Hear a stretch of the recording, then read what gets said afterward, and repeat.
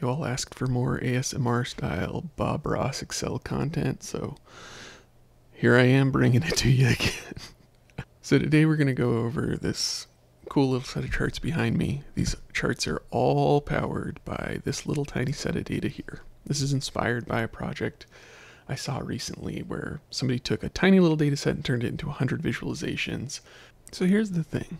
A lot of people just don't realize how much potential there is to customize their charts in Excel.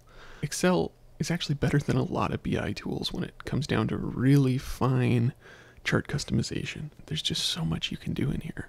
And if you combine that with just the sheer quantity of different chart types they give you to work with, you can create all sorts of stuff, no matter how small your data is. People aren't going to tell you that. People are going to tell you big data is the only way.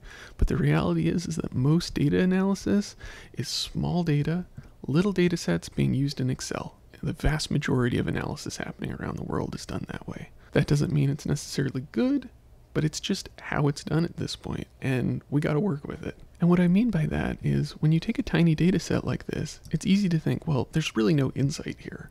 But when you start applying visualizations, you can start to see things in that data that you wouldn't otherwise have seen when you were just looking at a tiny little table all by itself. When we look at this double bar chart, we see the proportionality between all three of these different locations, right? We also see the proportionality and the change from one year to the next within each of those.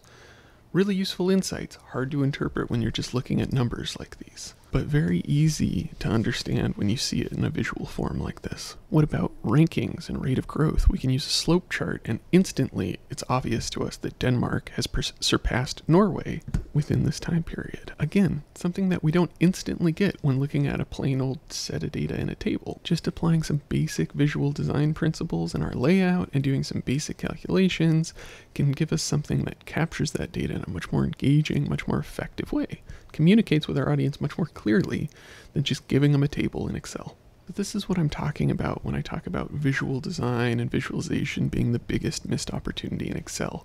You'll hear me going on and on about it all the time. I've got a bunch of videos about how to do all of this stuff. You can go check out the tutorials playlist on my channel. I've got free templates to help people learn this stuff on the newsletter if you want to get the free templates. They're there waiting for you. The learning curve for this stuff, it's not as steep as you might think really, I think almost anyone can learn this stuff. We're using a lot of principles you probably already know, principles you might have learned in PowerPoint, uh, applied in Excel, some basic Excel principles that are just applied in slightly different ways than you might be used to. None of this is crazy. There's no custom coding, there's no VBA, right? We're not using plugins.